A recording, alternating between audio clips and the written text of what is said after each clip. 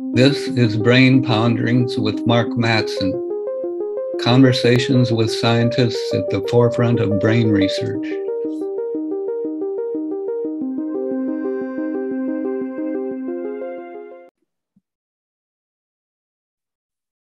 So it's pleasure today uh, to chat with Joni Kipnis.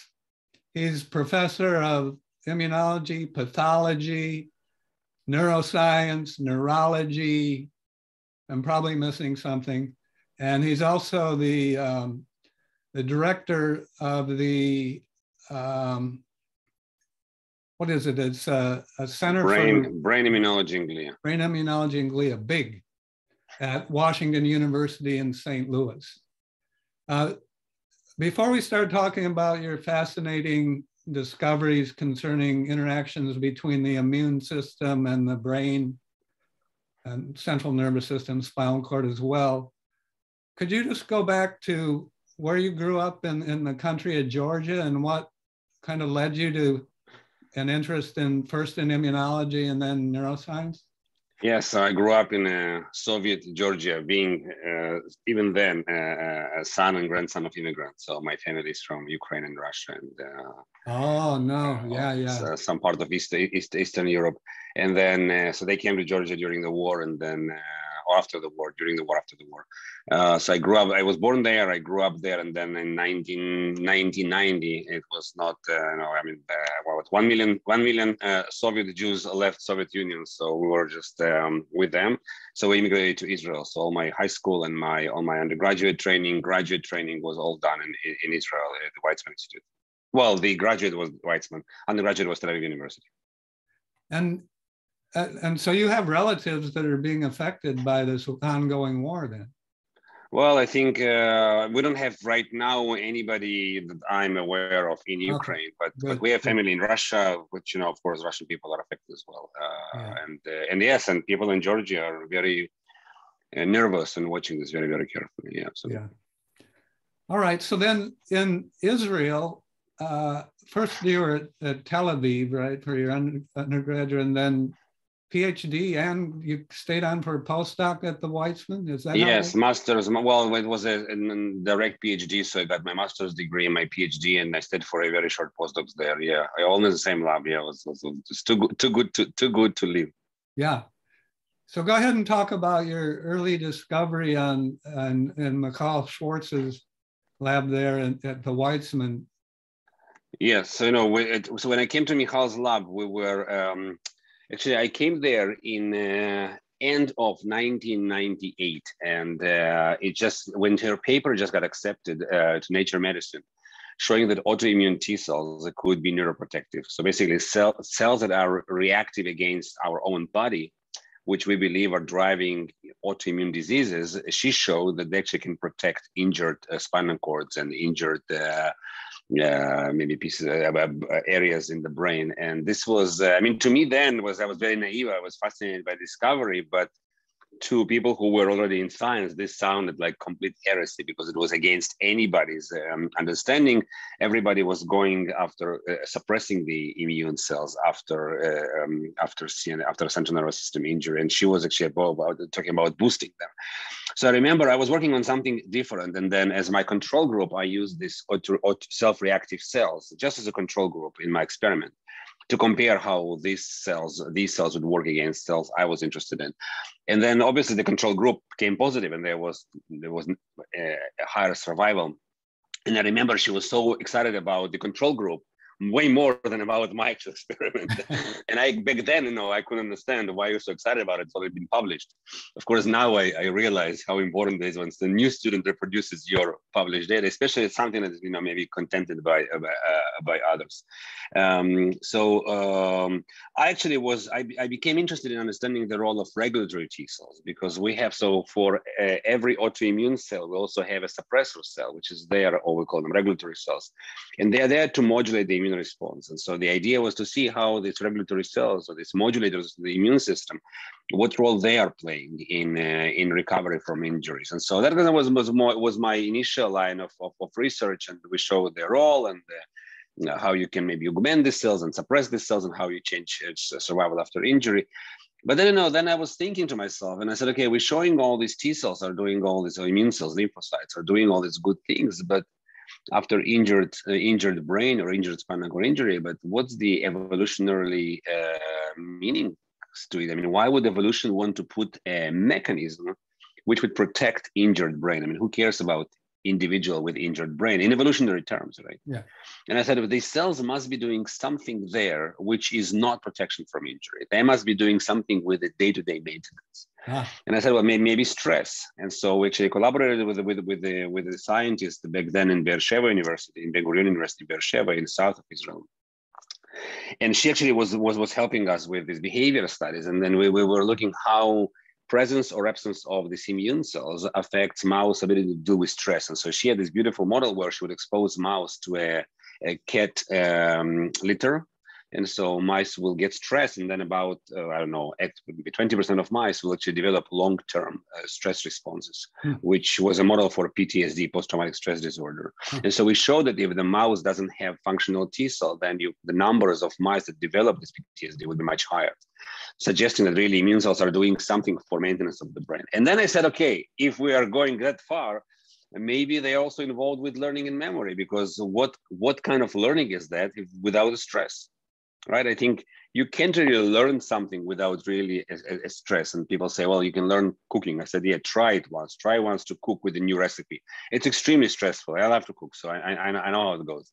So everything is everything. Every learning is is involved stress. And so we thought, you know, maybe without functional immune system, mice won't be able to learn. Actually, it was quite interesting because we had back then. I remember very very clearly. Um, Alfred Singer, uh, who is still an active science researcher at the NIH, he or she was visiting us. and he is a very famous in T cell development. And so I shared with him this idea and he told me I like I like T cells, but I I, I think I don't like them that much. I mean, it's like was pushing uh, that T cells would be involved in learning and memory. And uh, funny enough, he actually well go ahead. Sorry. So Johnny, so so typically, I think most people who don't have a really in-depth knowledge of immunology, they think of these lymphocytes, T lymphocytes and B lymphocytes, they're circulating in the blood, right? And then um, if there's a pathogen like a virus or a bacteria, they're involved in, in detecting and then getting rid of it. But these cells are, are circulating all the time. And so the idea not only that, and I know you're going to talk about this, they're not only circulating, but some of them are not circulating really. They're just like staying right up and just outside the brain. Um, so uh, I just want to, to point that out as kind of background. These cells ultimately they come from the bone marrow, right? Yeah, I can I can give it a little bit more immuno, immunology 101, uh, immunology for neuroscientists. Um, so yes, so we have, uh, if I do it very sim- simple way, our immune system divided into two portions, uh, the innate and the adaptive. And the innate cells are cells that are, uh, if we're talking about pathogens, uh, these cells are eating uh, and they're killing usually pathogens without really caring whether this is a flu or a COVID. They would just go after it without really a, a much difference what type of pathogen that is.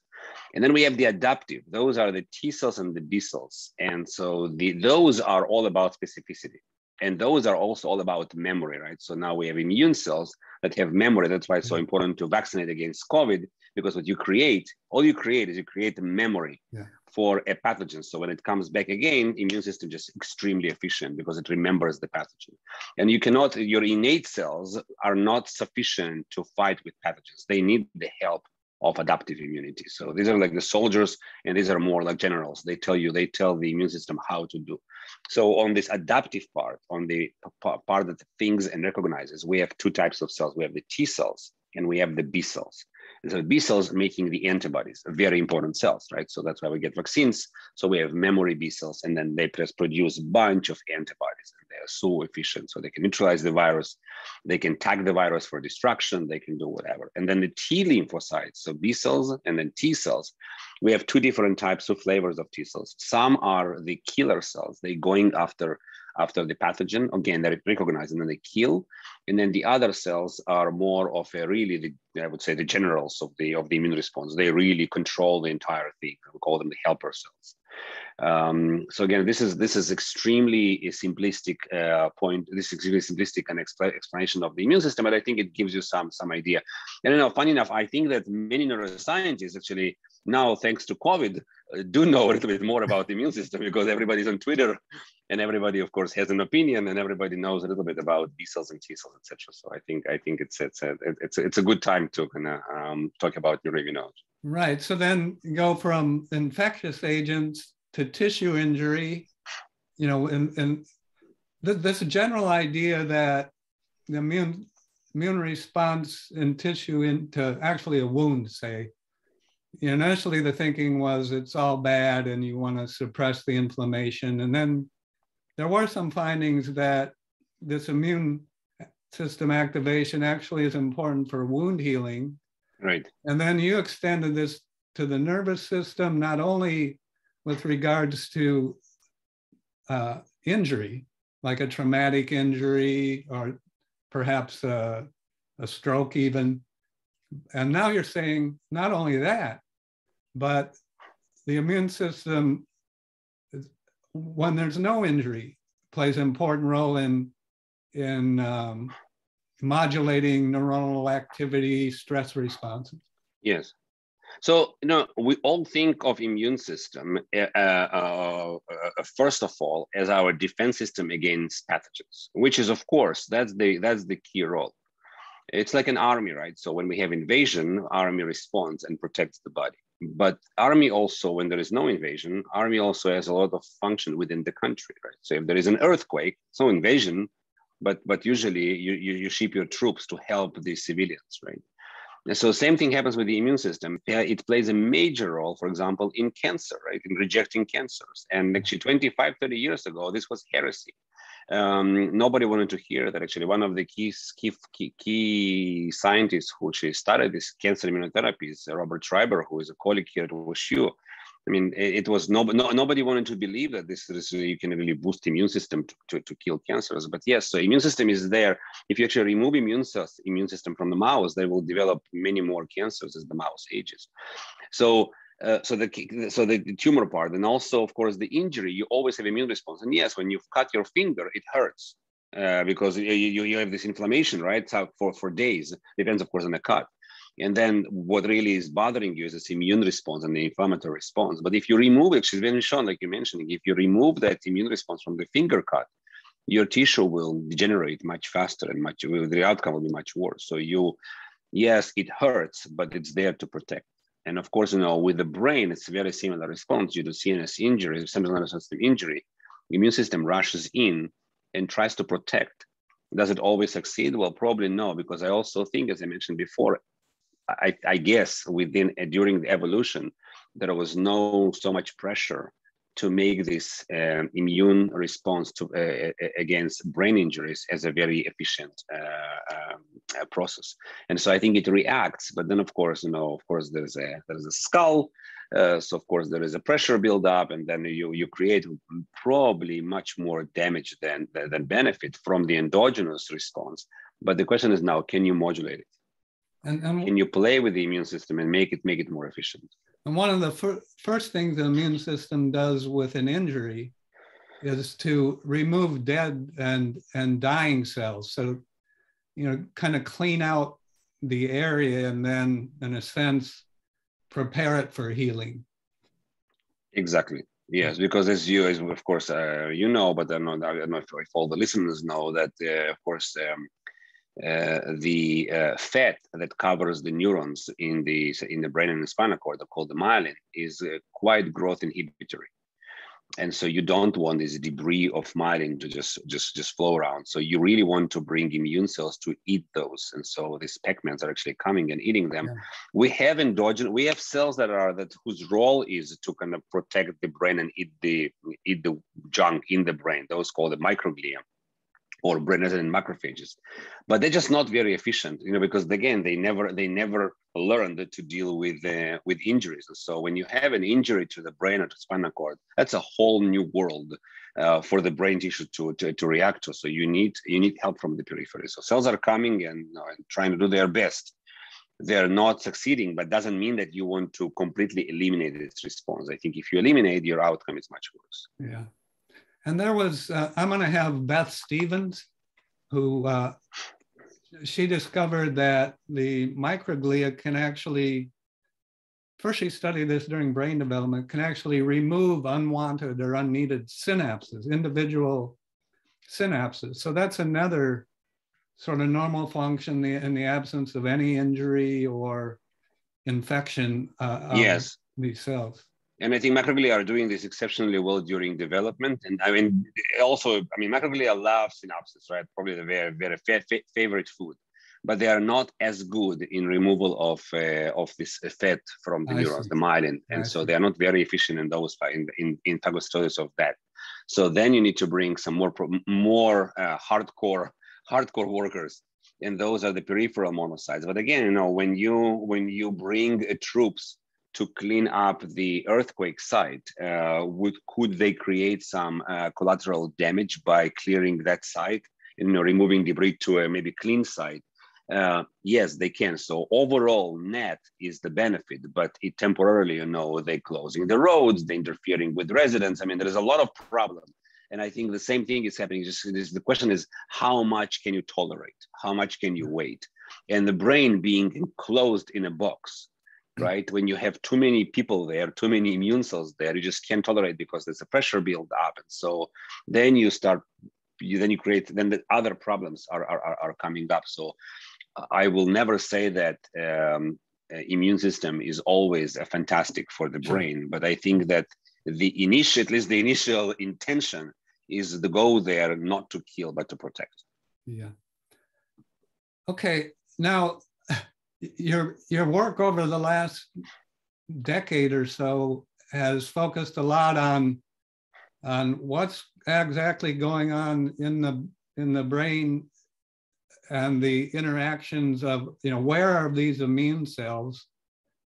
You know how do they move around and so on? And you've, you've discovered this interesting uh, lymphatic system. Most of the viewers and listeners will have heard of lymph nodes. They for example, they may have a swollen lymph node if they get an infection and there's immune cells. Uh, it's kind of a reservoir of immune cells. So can you talk, and this gets a little complicated, all this is complicated, but talk a little bit about the different uh, immune brain inter, uh, interactions. Yeah, so maybe I'll just give a little bit of introduction about how immune system works. And uh, the example I like to give is think of your neighbors going through a trash can on a daily basis for a couple of weeks, right? So they will know everything about you. They will know where you buy your food, what you wear, what you eat. They will know everything, no secrets, right? Uh, and then you know, imagine that suddenly they will start seeing some weird, weird things appearing in your trash can. I don't know. This could be, I don't know. This could be COVID positive tests or whatever. So they will know something is wrong, right? Or they will see, I don't know, blood-soaked towels if you want to go really badly. So they will know something is wrong, something is bad. So you know, if they are attentive neighbors, they will either call police or will go and check what's happening in that household.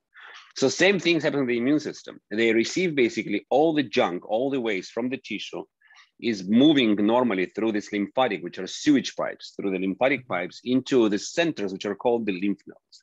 And so their immune systems, immune cells are sitting and basically going through the tissue garbage. And they're saying, okay, I know what's this, I know what's this, I know what's this. Oh, wait a second, what is this? This is new, that wasn't there. Oh, that's not even from this tissue. This is from some something new. Okay, maybe it's a tumor growing. So let's go and check what's happening there. Because of mutations, you have new new proteins that are coming up or cell will say no no don't worry. This is you know this is a, this is this is a, a, typical flu pathogen. I know exactly what it is. So then they recruit those right troops that know how to fight uh, a flu pathogen and they're rushing to the tissue to actually take care of the of the tissue right? So that's that's that's all about uh, tissue immune communication. Every tissue drains into a particular lymph node and this is the headquarters of the immune system okay or the trash collector site. Okay the idea was the brain doesn't have such system. So basically, brain is immune privileged. We're going back to 1940s with Peter Medawar, or even before him, uh, 1920s with Japanese scientist Shirai or Rockefeller scientist Sturm and uh, Murphy, uh, where the idea was that if basically what they did is they took they took uh, foreign cells. If you put them on a skin, they get rejected right away by the immune system. They're being attacked. You put them in the brain, and they stay there for a very very long time. And so the notion was, well, brain is immunologically unique. There is no access for the immune system to the brain. And then people said, well, the brain is immune privileged. And then the question is, what is what is immune privilege? What does it mean? And then you ask 10 scientists and they give you 11 different answers. right? Because you again you coin a term and then everybody understands that term as they wish or as they can or as they as, as, as much literature as they read right so we all we all limited in our in our in our knowledge of course and our ability to understand the, the, the, these yeah. things mm-hmm. and so brain immune privilege can translate it into there is never immune brain interaction. But then I say, so basically then this um, very important maintenance crew of our body immune cells will should never see problems in the brain if there is a brain infection or the in the matter of fact we know that if there is brain infection there is a very strong immune response which actually often kills the host because it's so strong and so severe. So of course the problems in the brain are being seen by the immune system. And actually if you read very carefully medawar's works from 1940s back then he already showed that if you put, for example, these foreign cells in the brain, yes, immune cells will not attack them very efficiently. But if you put the same foreign cells in the brain and in the periphery and educate your immune cells against those foreign cells, then they will reject the, the, the, the, the cells from both periphery and the brain. Huh. So immune cells can get into the brain. I mean, we have multiple sclerosis, which is a very, not very common, but among autoimmune diseases, it's quite substantial one in a thousand people are developing. Uh, is it one in a thousand developing MS? Maybe a bit less, maybe a bit uh, uh, less than that, but it's still it's a, it's, a, it's, it's, it's, a, it's a major major uh, autoimmune disease where immune cell is attacking the brain. So if the brain was, you know, completely immune privileged, then the immune cells wouldn't be able to get there. So yes, they can. The question is what brings them there? A problem. And so what we were trying to understand is what brings immune cells into the brain, what brings them out of the brain, how do they travel and how could it be conceptually that the brain wouldn't communicate with the immune system? So we were not looking for any lymphatic vessels because I knew they don't exist. You don't look for something you know that doesn't exist. But then actually my, my, my, my postdoc, so no, and the concept was, the notion was that the immune system, which are maybe in the brain or around the brain, they would go crawl out of the brain through this, so where our nose is attached to our heads, olfactory nerves are coming out to innervate the nose. And so the idea was, well, they just will crawl along the nerves and then that's how they will get into a lymph node. Well, maybe. So we were looking into this area. We just could never find enough immune cells there. But when we looked at the borders of the brain, the brain coverings or what's called meninges, we would find a huge amount of immune cells. So my student asked me actually, said, how do the cells get out of there? Do they just die there? Or do they get out somehow? Because if you get out, you have at some point to hit lymphatic vessels, the sewage pipes, right? You cannot remove your, I mean, whatever is in your household, you eventually remove through your one, of the sewage uh, uh, outlets, right? And um, and so what a postdoc in the lab, Antoine Louveau, he, he said, okay, let's maybe instead of looking at this at these coverings of the brain, by slices, when we see a very, very thin kind of covering on top of the brain, let's take the whole film of the, let's lift that film of the brain and mount it as a one, as a 2D tissue on a slide, right? So now the entire coverings of the brain was mounted on a slide. And then, and then we looked into this, this thing and we said, wait a second, what's happening? So it's a perfused mouse. So meaning before we're killing, before, before we're euthanizing the mouse, we're removing all the blood from the blood vessels. So all the blood vessels should be empty of blood cells. Yeah. And suddenly we see those two vessels in the middle of, of, of, the, of the brain coverings, which were full with immune cells. And I said, oh, there's no, I mean, we, we, we did perfusion, so the immune cells should have been washed out. They would only not been washed out from a sewage system because it's not connected directly to the, to, to the pump, to the heart. Yeah. And we said, could this be lymphatic system? But that can be because it's not there, right? We know it's not there. So then it's a real story. We went to actually a colleague and we said, do you have any anything to label this lymphatics with some antibody or something?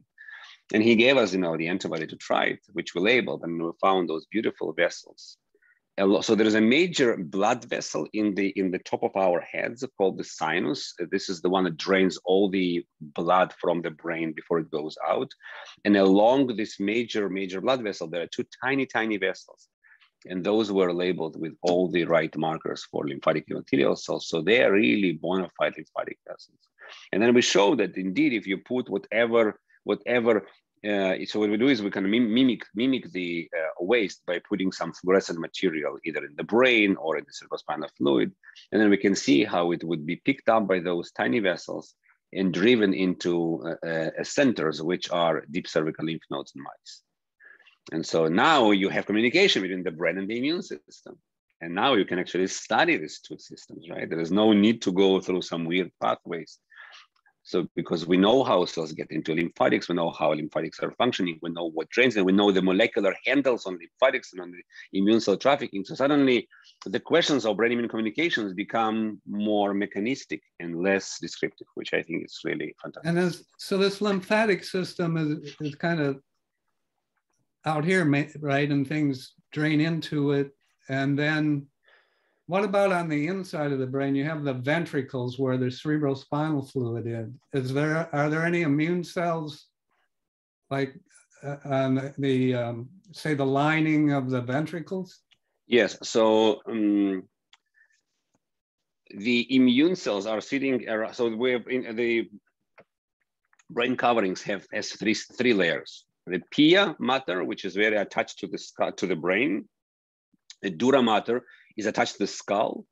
And then underneath dura, we have arachnoid. And between the arachnoid and the pia, this is where cerebrospinal fluid flows. So there is immune cells in every layer of this, of this, of these brain coverings. And now the in the ventricles, you also, well, ventricles also have choroid plexus, which actually produces cerebrospinal fluid.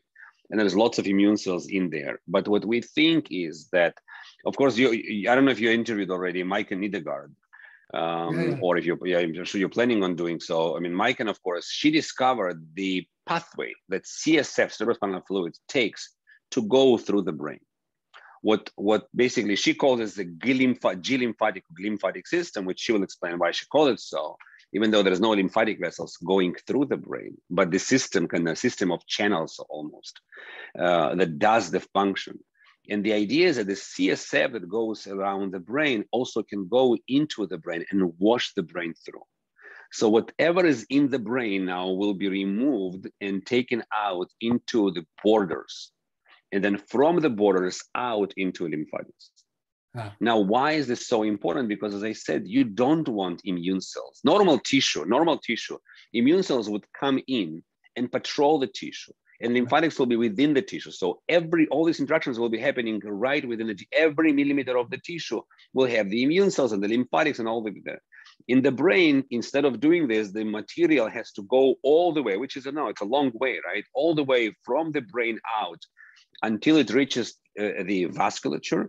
And then and vascular channels that will be drained out into the borders of the brain depends where you are. I think you will probably drain just you know kind of region, or the regional drainage of the brain, and then in the borders of the brain, this, this kind of this waste will accumulate. And then from there will go out into lymphatic vessels. And again, you don't want immune cells in the brain. So the example is, imagine you have a house and babies are sleeping in the house and you, but you want to host a party. Now, how do you do it? You bring party people and you will, you will wake up your babies, which are the neurons, and the party people are the immune cells. So what you do is instead of bringing party folks into the house, you take all the food and you take it out into your backyard or front yard or courtyard or whatever you want. And so you host party outside. I think that's what the brain and the and the spinal cord evolved to do. Instead of bringing this these cells inside, they take everything out. That's why the borders of the brain are so important because that's where neuroimmune interaction is happening. That's where patrolling of the tissue is happening. Now, if there is a problem that is detected in that level, okay, then immune cells will invade the brain because then then you know babies are relevant. If there is a fire in the house, you know, you go in and you take those babies out and you do whatever you need to do. But as long as everything is fine, the patrolling of the tissue is happening in the borders. Okay, great. So now why don't you expand a little on your work on the roles of, of the immune cells, particularly these T lymphocytes in normal functions of the brain. And then after that, we can move on to, I think what a lot of people will be really interested in your, your really exciting preclinical studies suggesting a potential for immunotherapies for a number of different major neurological disorders. So start with normal functions. You talked about stress responses, but you've also looked at other other uh, yes. So I'll ask a provocative question. How did your or uh, mine or anybody else behavior change? How did it change from let's say April 2020 to April 2021 even or May 2021? Wow. wow. Yeah. Right. So behavior, our behavior changed dramatically, right? Because there was a threat, there was a pathogen, and we were sitting in homes. We were, you know, wearing uh, three layers of masks, and we were not flying anywhere, not going to restaurants, not going to theaters, nothing. With the moment we got vaccines, we started to go out. We may be still wearing masks, but we're going out, we're going to restaurants, we're doing, we, we starting to, and then now, of course, we have our three, three doses and so four doses for some people, and everybody is, feels safer to go out and actually do some activity. So our behavior changed as a result of the, of our immune system status, right? It did, that's a correlation. Well, it's not a correlation, actually. I think that's a, a, a, a, this is absolutely causation. You know that you are protected against the virus so you oh. feel safer oh, to see. perform risky behavior. Yeah, yeah, Actually, yeah. It's, a, it's, a, it's a complete causation. Yeah. Now let's think evolutionarily of behaviors, which are you know the most basic behaviors to maintain life: foraging, mating, parenting, social interactions, and you can name more. All of these, if you cannot protect yourself from the partner, you will uh, pathogens that partner is, is bearing, you will die. So I actually would argue that this that the development or evolution of the immune system is what allowed all these complex behaviors to, to, to evolve as well. Okay, so I know as a neuroscientist, for you it may be difficult to hear that. But if you're looking, if you're thinking evolutionarily, right, you wouldn't be able to evolve these behaviors without knowing that you're not going to get killed by pathogens in the in the in the in the other in the, on, the, on the other end. So you I, have to have yeah, go ahead. I've thought a little bit about this evolutionary perspective. Now, if you go way back in evolution, uh, simple organisms had nervous systems, be- certainly before they had this adaptive immune system. And there's for sure, yes, even you know one of the heavily studied um, invertebrates is a roundworm called C. elegans, and my understanding they don't they don't have even macrophages and they don't have adaptive. They do, they do. The macrophages, they do. I mean, that's how uh, that's how uh, Mechnikov discovered macrophages, right? He was pinning those worms, uh, and then he saw that the cells are attacking the pin, and so he came up with the idea that, well, wait a second, maybe there is some protect protecting cells in our bodies. I mean, that he got Nobel Prize for macrophages subsequently. Ilya. Okay, I thought they in were worms. I don't know if it was C. elegans, but it was in worms. But but but you know, but what mm. I, I but so define macrophage. Uh, amoeba is a macrophage because it can eat, right? So if yeah. you can phagocytose, then then you know then mac- macrophage means that you're eating something big. I mean that's and, what and macrophage. They, they move. They move. Yes, exactly. Yeah, just yeah, like amoeba. Yeah. Yeah, yeah. So I think if you can move and you can phag, or even if you cannot move, if you, if you can if you can eat, I mean that's no, but um, and then of course all these organisms they have uh, they have antimicrobial peptides which are a primitive molecules yeah. which are part of the immune system right so for example mm-hmm. fly, flies for example they have uh, i think uh, 50 some or 60 some known uh, um, antimicrobial peptides uh, which actually if you remove some of them there's i think four or five classes for anti-fungi for, for, for bacteria, for viruses. I mean, those are they're not adaptive, but they are they are innate, but they are they have some specificity. So it's it's, yeah, it's okay. quite interesting. Yeah, yeah, yeah. So uh, again, and know, but also the behaviors are much simpler, right? And so, I, by the way, I was told, and you know, I, we are we're just starting our fly fly expedition, so I don't know flies that well, but I was told that actually when flies hatch. Uh, and they become social, right? Uh, there is a great induction of bunch of genes, among which is a group of immune genes, and nobody can ah. understand why why this is happening. Ah. So what, what, again, what we think is again, you need you need your immune system to protect you from pathogens coming from from another partner. And if that's the case, if we agree on that, maybe we cannot, but but, Yeah, but yeah. if we, if we but if we can agree on that, then during evolution, now, now let's think about millions of years of evolution where the two systems were evolving together yeah. and we're depending on each other. Of course, the immune system also needs brain support, and I'm sure that the immune system is probably governed by the brain completely, like any other system in our body. Yeah. So now, no, no, you also have that many signaling pathways that probably, I mean, there's a limit, finite number of those, right, in our organisms. So both systems are probably borrowing them and using them. And then, of course, we discovered uh, cytokines first in immune cells, actually the very first one by Igal Gery, IL-1, and he called it lymphodrek as a, as a shit produced by lymphocytes. But I mean, in, in the same way, this could have been discovered in the brain, and then it would be maybe called you know, neurokine or whatever. Yeah. And then, and then, if you look now on the map, so we knew it for many, many years that, for example, all the almost every immune cell will have a receptor, which is you know, kind of a molecule that under, recognizes the signal for almost every neurotransmitter. Anything we can think about, that's serotonin, dopamine, uh, norepinephrine, Yeah. anything you can think about, there is a receptor on immune cells. Actually, some are also unique.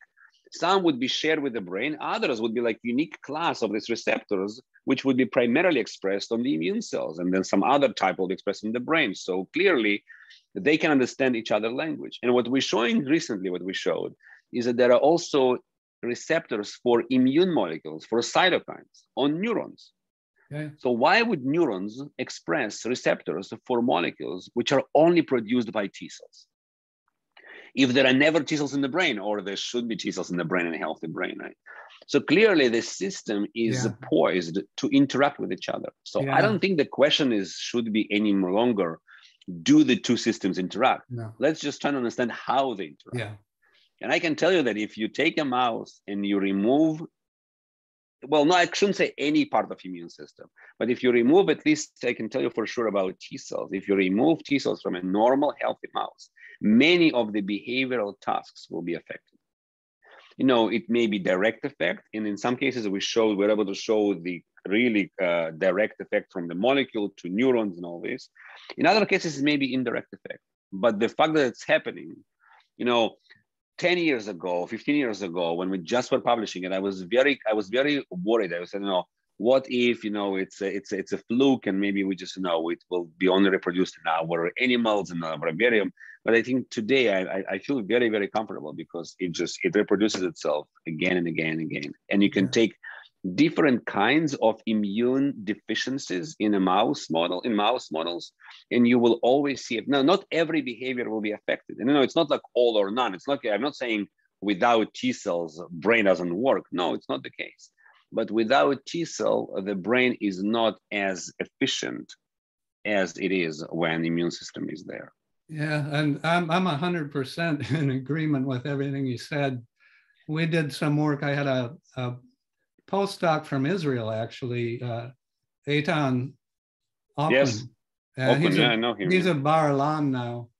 Yes. And when he was in my lab, he did some studies in uh, mice that were deficient in certain uh, immune receptors called toll-like receptors and found that they had some behavioral abnormalities. And then, of course, we found that the neurons themselves have the, the receptor for these toll-like receptors. So that's just another example yes of of and you know we, we had the same thoughts exactly as yours that okay these these receptors the signaling systems are there all the time do they really just sitting there waiting for years and years for some infection or injury? No they probably have some normal function.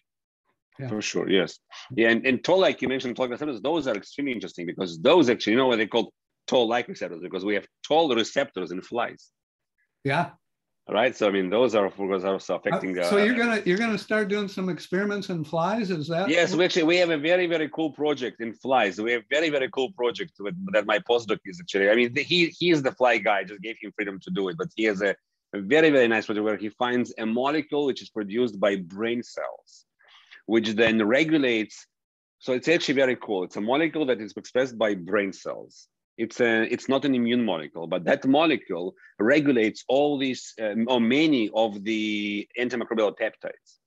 And by regulating the antimicrobial peptides, it affects the microbiome or the uh, commensal bacteria in the fly's gut. Ah. And it particularly targets one particular strain of bacteria. And these bacteria produce a metabolite, which is recognized by neurons, which are which are controlling sleep in fly. Perfect. So, and by controlling sleep, you control a lifespan. So it's from a molecule to to to commensal to neurons to to yeah. sleep to lifespan. It's really beautiful. I recently did a podcast with with Sarkis Mazmanian. Yes, yes, fantastic. Yeah, and yeah, yeah. so that, that's perfect. And uh, you know, he was doing kind of the same. Yeah, Sarkis is amazing, and he died both flies and and mice. And so yes, we absolutely uh, following his work. Okay, so why don't you talk about learning and memory and cognition? You yes, and so so again, so, you know, so we uh, the very first study was done. Basically, we said, okay, we see all these all these defi- immune deficiencies are you know having issues with like I was telling you, uh, with stress response, with injury response. So is there effect on learning and memory? And uh, and then and then we just uh, we, we if, whether you take a mouse that is born without functional T cells, T lymphocytes, huh. uh, then this mouse is impaired on many many different hmm. aspects of learning and memory, whether this is social behavior or learning behavior, spatial behavior, fear memory, you name it. But then, you know, then we said, okay, well, we can't just, you know, forever describe these different behaviors which are affected by lack of immune cells. We must go deeper and understand what are the molecules, what molecules are driving it. And so the very first work, which was done quite nice mechanistically in my lab, was done by Tony Filiano, who is now professor at Duke. And so Tony is a phenomenal guy. So he actually came to my lab. I don't know why he joined my lab. It was really a blessing. It was about probably joined about 10 years ago or so. Um, and he just said, okay, I'm very excited about autism, you know, uh, neuroimmunology of autism. And I said, Tony, um, you know, uh, the uh, player is yours, you know, just do whatever you want. And so he started by doing this, basically showing that immune deficient mice have, you know, I don't, I don't like to call this uh, autism because it's not, but they, but they are showing a, a, a social, uh, be behavioral, social behavioral deficits as you would see in mouse models of autism, whatever that means. But again, they have social deficits. And then we were, of course, we said, okay, you know, we can we can transfer, and then so we can fix this problem by giving this immune deficient mice back their T cells. So that's all that's all great. That's all wonderful. But how this is happening? And um, so then we collaborated with with actually with my with my classmate uh, back from Weizmann, who by, by then was professor at UMass, you know, Vladimir Litvak. And so he was computational biologist. So we told him, listen, here is our problem. We have immune cells, T cells are doing something in the brain. We have no clue what the molecule is. Can you somehow model this? And he said, okay, let's go. So I remember this was like maybe 2000 and maybe 12, 13 when he was doing. So way before single cell, well before all these, you know, huge data sets available online. It was before that time. But we already had a bunch of uh, uh, bulk sequence data sets which were there. So what he did is he took about 1,000 transcriptomes, which were available online, looking at how different cytokines induce, uh, so cytokines inducing uh, signaling, signaling responses to cytokines in bunch of different cells, immune, non-immune, whatever.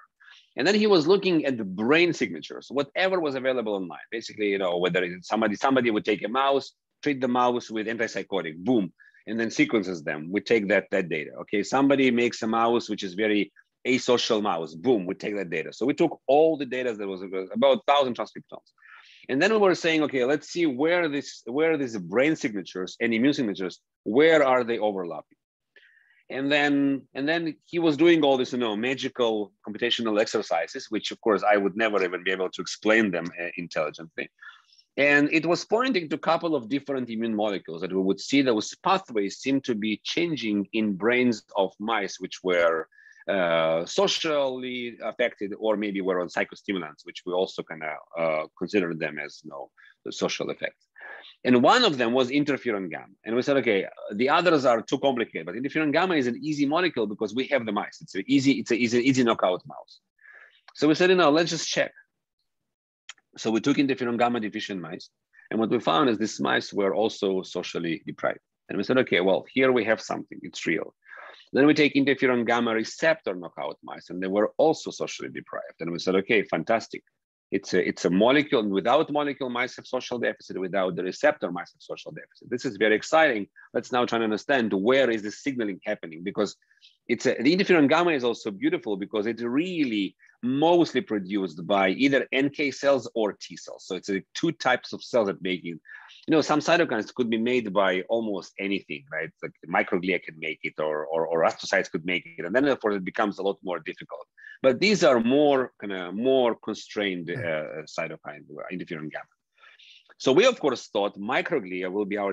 That was exactly when Beth already published her papers, which were very uh, um, uh, substantial and kind of uh, made a lot of uh, brought a lot of interest into microglia. So we said, okay, you know, we have this great story, peripheral cytokines on microglia doing something for behavior, which is super cool.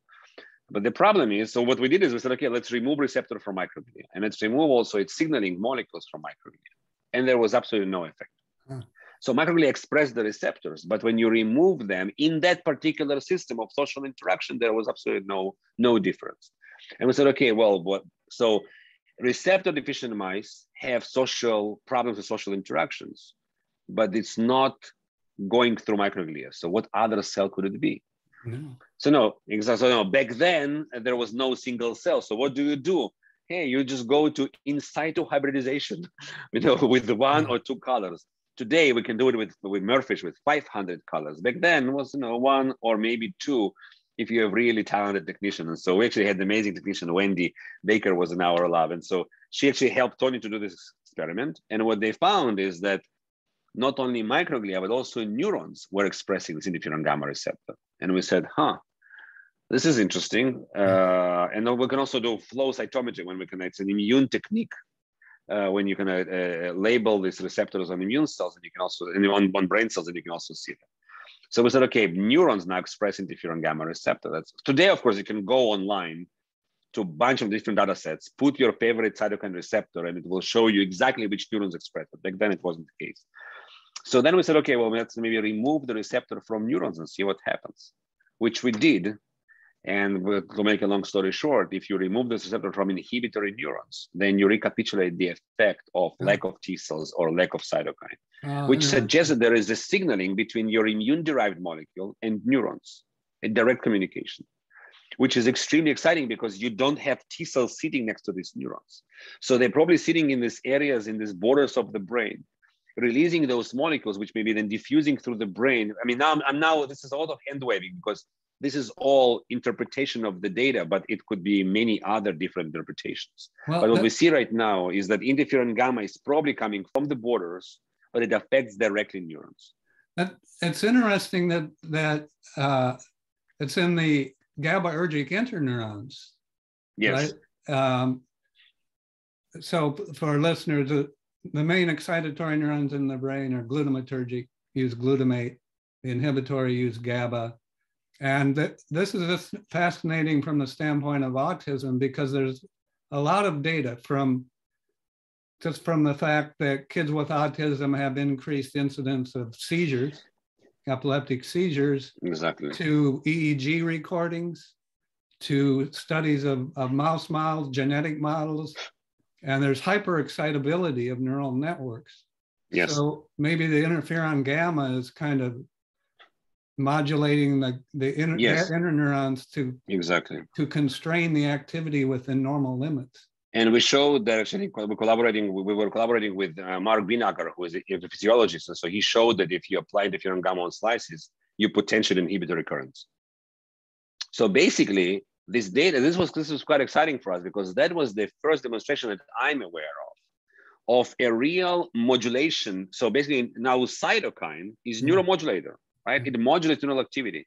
It doesn't act. It doesn't induce neural firing. It doesn't. It's not. It's not doing that, but it modulates the activity of the neuron. And when you remove it, your activity of the circuit is changing, and therefore your behavior is changing. Yeah. And actually, it was fascinating because I think maybe that same year or maybe a year later, there was a paper from uh, Gloria Choi from MIT and her spouse, Jun Huh from Harvard, they published maternal, you probably know this work, maternal cytokine, IL-17, can diffuse through uh, from mother to babies and affect neurons in particular brain region directly again on neurons and then change behavior and make like autism like behavior. So now we have another example of another cytokine affecting neurons. And then that same year came paper from de Bono's lab, which was, I think it's a most fascinating study because he showed that going back to your question about C. elegans, that in C. elegans, IL-17 homolog directly targets receptors on neurons and regulates mouse behavior in response to CO2. So now this this this this thing, you know, it's not just cytokines are receptors are expressed, they functional and they're evolutionarily conserved. I mean, now it becomes a lot more interesting and evolution and, and, and mechanistically kind of kind of very interesting. So we just had paper last a couple of months ago, paper where we showed that another molecules, interleukin 4, produced again by, by, by subset of, of, of T cells, can affect learning and memory in fear, fear conditioning. So fear, fear learning. And before then, we showed that the same IL-17 also affecting, affects anxiety behavior through different sets of neurons. So, you know, it's uh, kind of the, the this this mystery box is you know is being kind of you know it's like this this uh, Russian doors when you kind of open one and there's another one inside. And I think we're now going to slowly uh, unraveling this this this this these things and now maybe one day when we know exactly which circuits affect which behaviors. I mean, this is now a kind of science fiction, and we sequence all these neurons have been sequenced. Maybe algorithms can predict based on expression of different immune immune immune molecular receptors on those neurons which immune cells can modulate which immune molecules could modulate those targets in those circuits right? Okay stay you... tuned stay tuned for that. Uh, this is a good point. So the interferon gamma findings are exciting from the standpoint of i mean the question that may be popping into people's heads is will, if you give, say, a child with autism interferon gamma, is that going to have a benefit to them? So, you know, this, of course, hasn't been done. Uh, but I think that um, I mean, I'll tell now something extremely sad, right? Unfortunately, most neurological disorders we do not have uh, even therapy for, right? I mean, we can control, of course, seizures. We can control maybe positive positive symptoms of schizophrenia, uh, but we really don't have any cure for sure. We don't even have a good therapy for really the source of the problem. Now, for if you're looking at multiple sclerosis, we have 20 plus approved approved drugs, FDA approved drugs and some of them control the disease really, really well. I mean, of course, without side effect, nothing works. Some some have, of course, side effects, but overall, this is probably disease with the most amount of of, of, of therapies. Yeah. All of them are targeting the immune system. Yeah, yeah. So what I am thinking is maybe it's really extremely difficult not only to deliver drugs across the blood-brain barrier, which we haven't talked about, but of course there is a barrier that prevents a bunch of bunch of molecules, so most molecules to get through.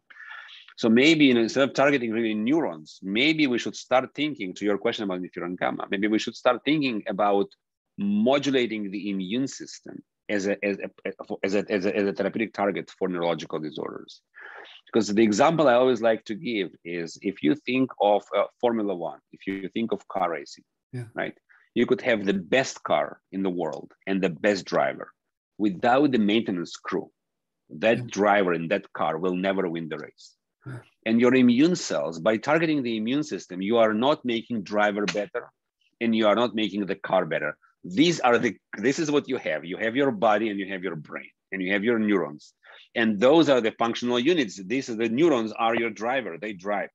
But without the maintenance crew these neurons will not be able to function at their best. And the maintenance crew, you could it's much easier to replace and to improve and to change and to train. And I mean, that's I think maybe if that will be that will be our focus, we may be able. You know, I'm always saying I don't want to cure Alzheimer's, but I would love to postpone the onset to an age of maybe 150, 160, when it's comfortably will be beyond our lifespan. Until unless of course Tony Wyss-Coray will extend our lifespans to 200, and, but before then. And there, there are mouse models that uh, where the mice accumulate amyloid in their brain and have kind of degenerative changes in neurons learning and memory deficits. And you've done some work in them manipulating the immune system, right? Yes. So, well, so um, with Alzheimer's mice, the immune system is mostly Michal Schwartz's work. She's uh-huh. kind of focusing on, on, on boosting immune cells and getting some very, very interesting and exciting results. We are mostly looking at Alzheimer's as a plumbing problem. Hmm. Okay, so you have accum- so if your sink is clogged, you can play with the faucet, but the problem is not in the faucet. The problem is not with production. I mean, production may also be, of course, a problem. But in this case, you also have a clogged sink. And you need to go and unclog your, your sink. You need to go for you need to go for a plumbing problem. And what we think is happening is Alzheimer's, in addition to, I don't want to simplify the disease to one system, it's a super complex disease. But I think among many other factors, you also have a problem with the plumbing system, a plumbing system being the lymphatic system. And so what we're suggesting is that you could bring your very best therapy. And these drugs, funny enough, all these antibodies, they are working quite well in mice.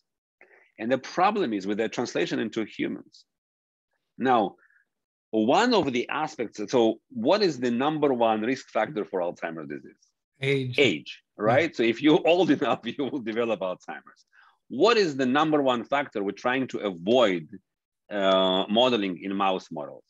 Age because nobody has the uh, luxury to wait until mice will develop something spontaneously, or even in the slower models of ABAP Swedish, for example, where it takes, I don't know what, uh, 18 months until mouse exhibits this deficit. We all, most of us working with models which are fast progressing disease.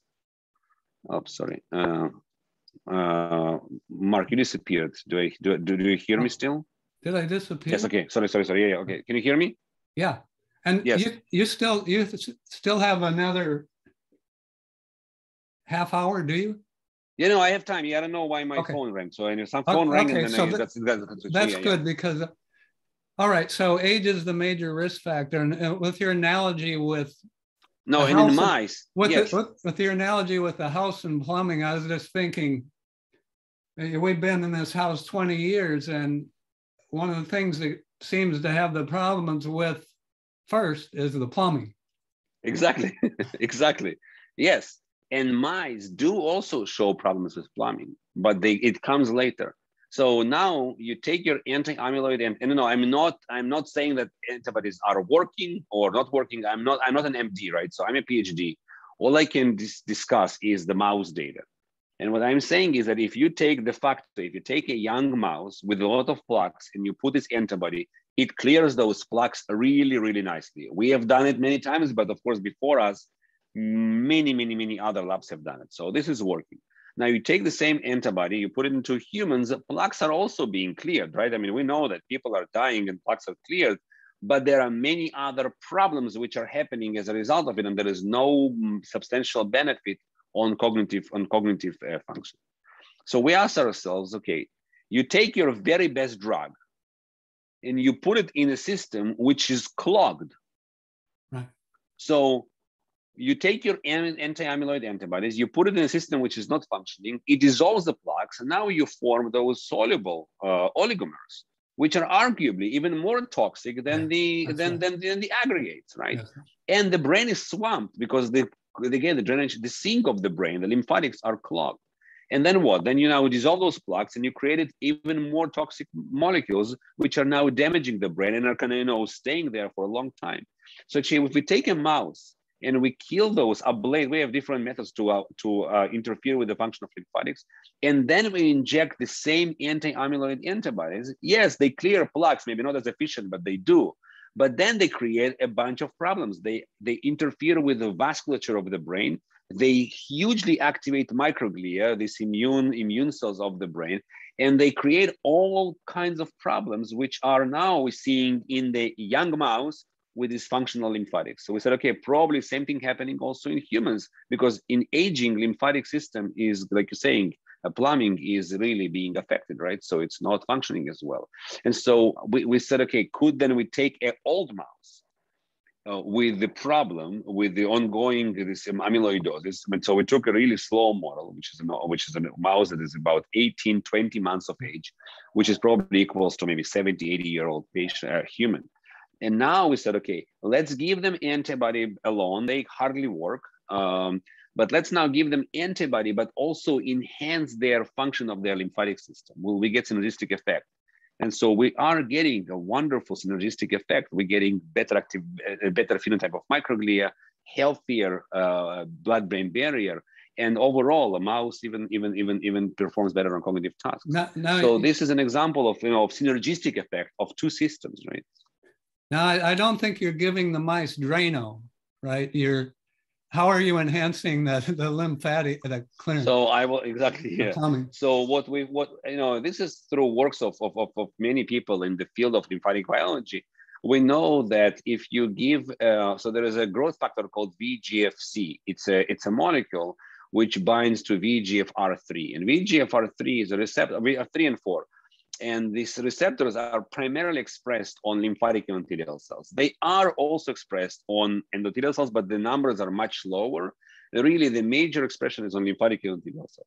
So we know through work of Alitalo primarily, but also other people, that if you remove VEGFR3, this receptor, from developing mouse, lymphatics will not be formed. So this mouse will be lethal. Okay. What we did not, what we found out serendipitously, and then Alitalo showed it a little better, that the meningeal lymphatics, which are at the borders of our brains, for some reason, which we don't understand fully, are not only dependent on VEGF-C, on this molecule, for their development, like all other lymphatics, but they also depend on this molecule for their maintenance.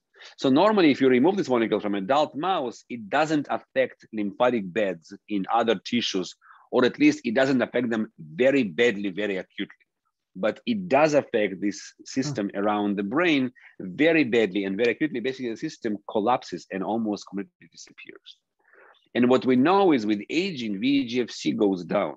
So what we're doing is in old mice, we're treating them with VEGFC with soluble molecule. Huh. We're applying it as a, as a brain shampoo, um, or really, or, or we can inject a virus which will express the molecule.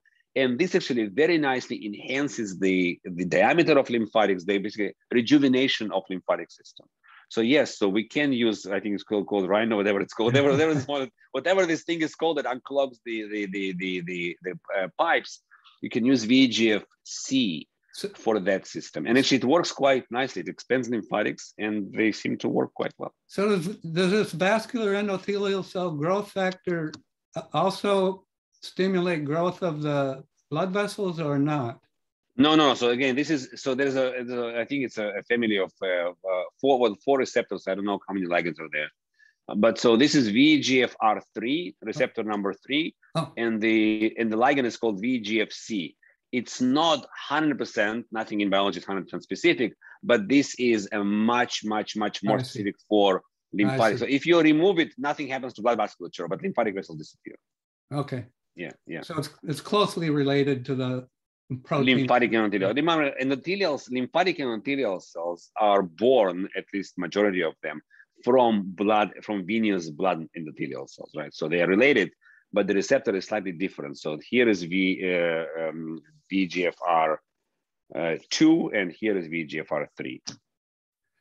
All right. So next, uh, talk about protective autoimmunity, you, you kind of did a little bit, but from the standpoint of potential down the road, new therapeutic approaches to neurological disorders.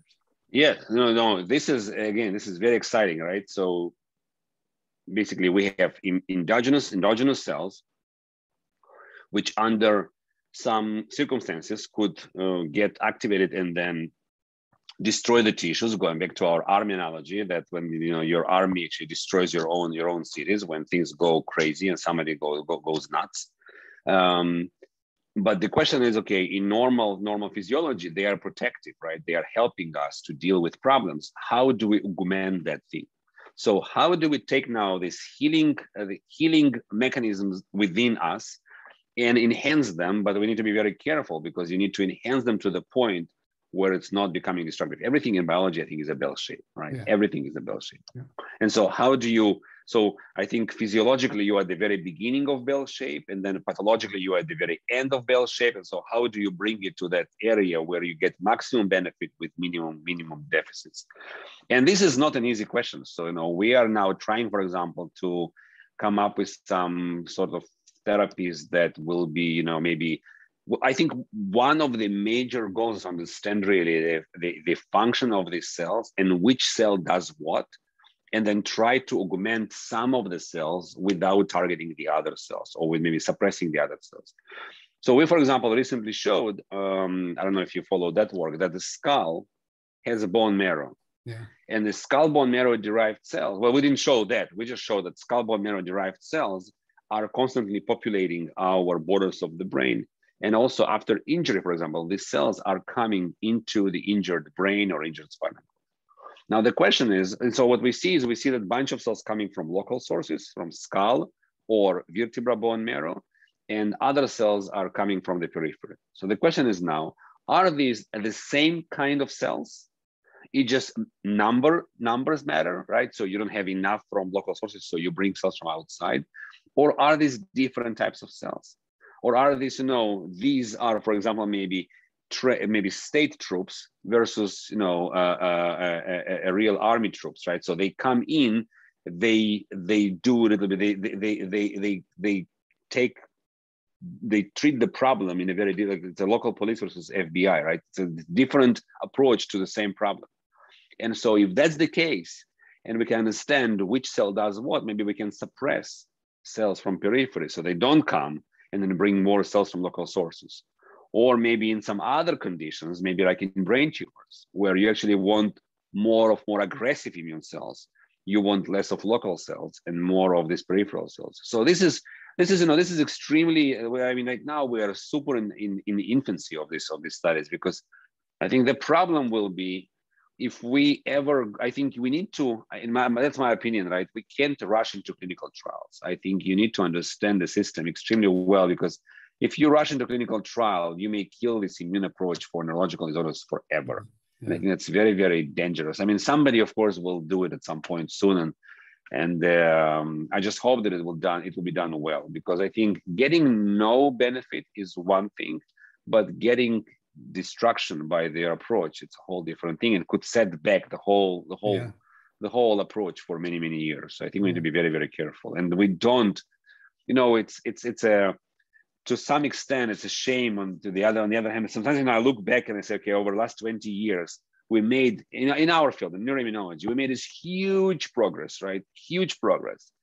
But on the other hand we still there's so much unknown. Yeah we still so many things we don't understand. And i'm always looking at cancer immunotherapy and i say no these guys are just they, they're i don't know if they're better but they definitely the depth of knowledge there is so much deeper. I, I think that and it, it's it's it's easier. I mean it, it always um, fascinated me you know it seems like it it's easier should be easier to kill cells than to uh, uh, protect them. protect them. Yeah, and, I, I would um, agree now, experimentally, you said that there's bone marrow in the skull, in the, the skull, just as there's bone mm-hmm. marrow in the bones of your arms and legs. And like someone with leukemia, you know, a blood cancer, typically, don't they like give them radiation? It depends on the cancer, I guess, but like radiation, uh, these blood cells are coming from stem cells in the bone marrow. And right. those cells divide rapidly. And cells that divide rapidly are more vulnerable to gamma radiation uh, being killed. So, for example, the side effects of radiation therapy are typically GI problems where you've got a lot of turnover of the gastro, the cells lining your gut and so on. Now, in the brain, there are some stem cells and they're vulnerable to radiation, but they're only in one small brain region.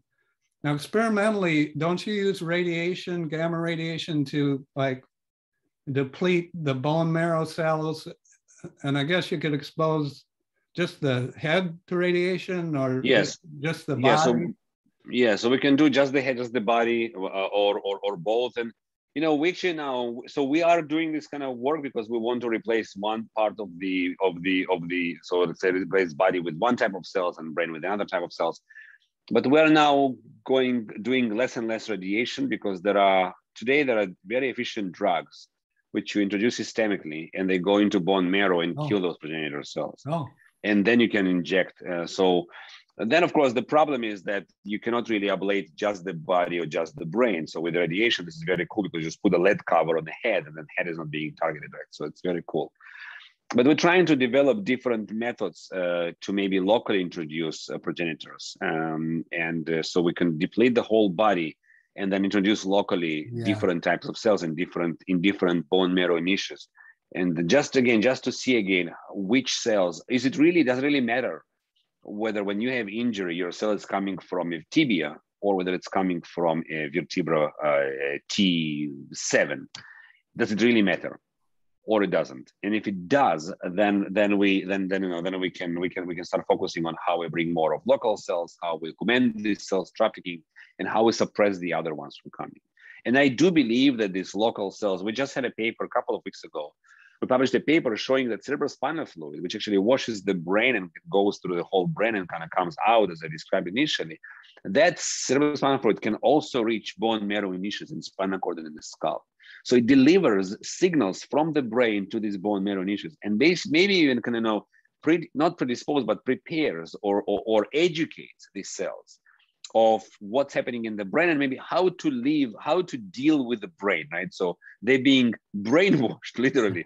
These cells being brainwashed from the very beginning, and um, and that it that tells me that they probably when they come down, they are probably a little bit different in their phenotype than cells which are coming from periphery and are not brainwashed, right? So they just come and they of course perform a very very different different type of work. Again, we need to show that we need to understand I think that for injuries, you would want local cells more because they will handle things more elegantly and more carefully. And for brain tumors, you may want the peripheral cells more because they will take care more aggressively and will really remove the tumor. But again, this is just my hypothesis, which will probably be proven wrong. But so far, that's what we have. well, I guess we've covered a lot of ground in this. Would you like to say any? And I'm going to put some links in, in the description on the on the YouTube channel to uh, a few of your review articles, like annual review of immunology one, and I, you had a science and one in science. Uh, we had nature. We have an, we have a very cool one recently about cytokines and neurons in Nature Reviews in Immunology. I think this one probably people will like it. It's a, it's it's it's a good one. That just came out. It was maybe last year. Okay. Nature Reviews Immunology. Yeah. I think I've probably seen it. Then. yeah, probably. And uh, what what's your future vision? You're you're fairly young yet, right? Um, yes, very young. so you have some uh, long term visions for your research.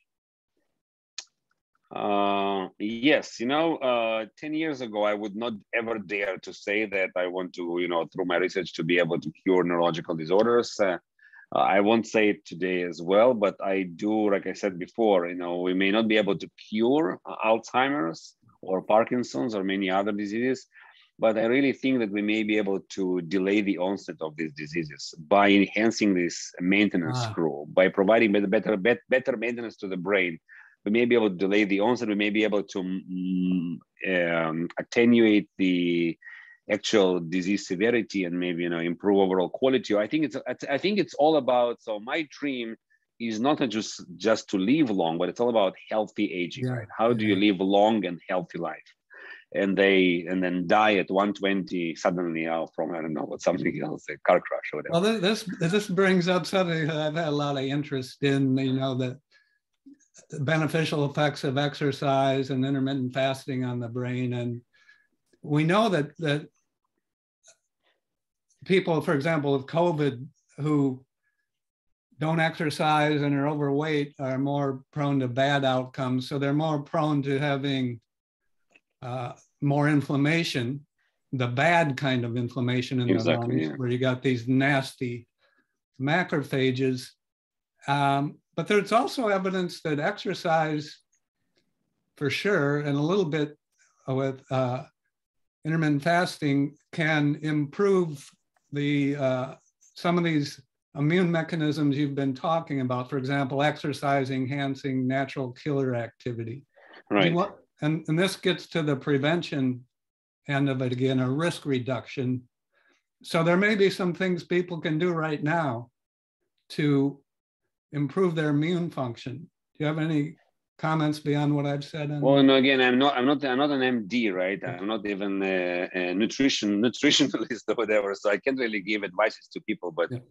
but I do think that, um, uh, I mean, would wouldn't be nice to have vaccine against Parkinson's or against Alzheimer's, right? Uh, when you train yeah. your immune system, and uh, you make it mm, ready to fight when there is a problem there in the brain. Because remember, right, like uh, like so what was so unique about covid it was just a new virus which immune our immune system has never seen before right. that was the actual problem with the virus uh, because once you once you train your immune system it takes care of the virus very very well right so if if there is analogy if if the and I, and I don't have the answer but if immune system takes care of neurological and the same thing we're doing with with with cancers right we enhancing the immune system and we're training the immune system against cancers. So can we train immune system? Can we have vaccine for Alzheimer's disease, vaccines for Parkinson, vaccines for schizophrenia? I, you know, I don't want to say that we will have a vaccine, but I do believe that we will probably have some sort of immune modulatory therapies that will affect at least a, a, a subset of, of brain disorders. Uh, and that's what you know that's where i maybe when if, if we contribute like you know one gram to that thing through our research then maybe i will be able to happily retire or whatever i don't know switch careers. All right great. Johnny i've been this is a delight. It was nice to meet you for the first time. I've over the years seen a little bit of your work. Um, no, no, we've met in Virginia. You came as our speaker, so we've met. We met in oh, yeah. Virginia. You were you our. Know, I, one of my big problems in life in general is I have trouble remembering. You know, so I'll, I'll meet somebody like you and uh, talk about the research, and then I'll remember all the details about the research, but I may forget that I actually talked to you or where. I see. yeah, yeah, yeah. yeah. Yeah, that's right. You were at Virginia a long time, and I gave that. That wasn't too long ago. No, no, you you were a you were a student retreat speaker. I think maybe three or four years ago. Yeah, yeah. Maybe four years ago. And you've only been in St. Louis a few years now. Yeah, two years. Yeah. Yeah. Under great. Well, it's a great place to be. Yes, yes, for sure. Yes. All right. Great to talk. Mark, to thank you so much. Fantastic. Thanks a lot. All right. Good talking bye. to you. Bye bye.